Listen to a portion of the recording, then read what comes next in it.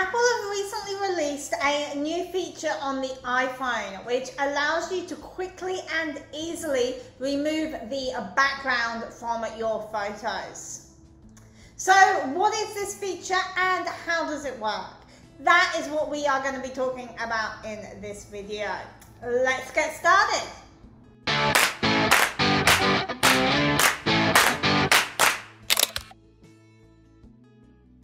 When you cut out a subject using this new feature, you are erasing the background and making everything around the cutout transparent.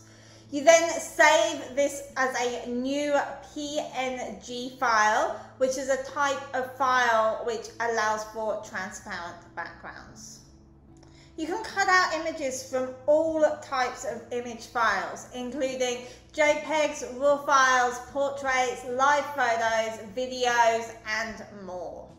For the best results, there should be an obvious separation between the subject and the background.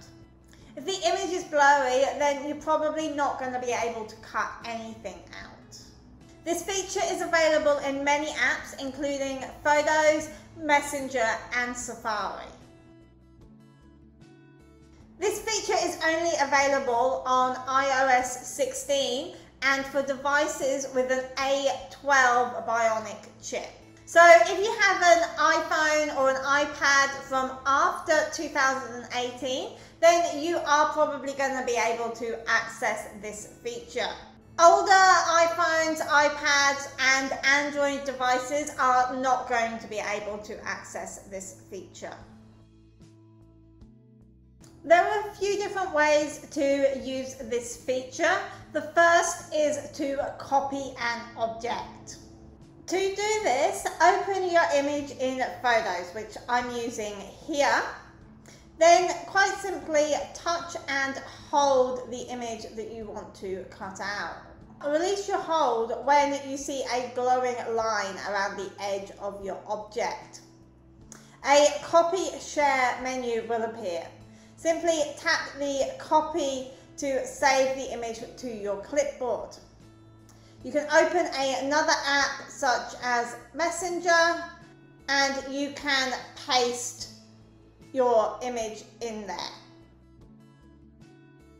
So let's do that again, but this time we're going to use the share option in the menu. So again, open your image in Photos, Touch and hold the object until you get a glow around the edge.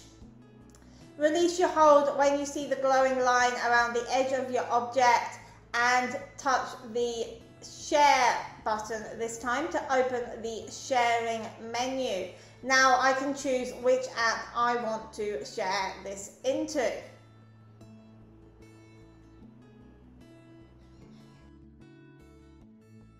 You can also drag and drop your image to another app. So again, open your image in Photos, touch and hold the object that you want to cut out, but this time don't let go when you see the glowing line.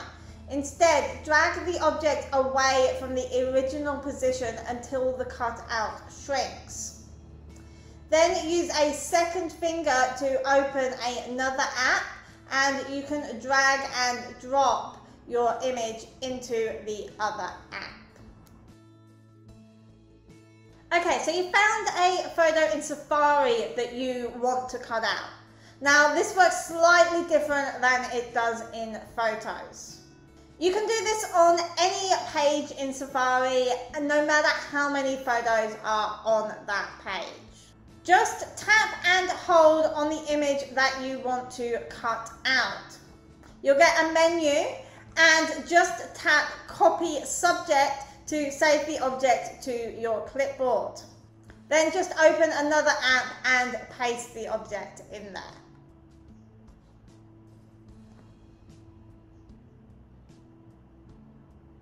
I hope that you have found this video useful and can now start cutting out your objects quickly and easily. Thanks for watching and I'll see you again next week. Bye bye.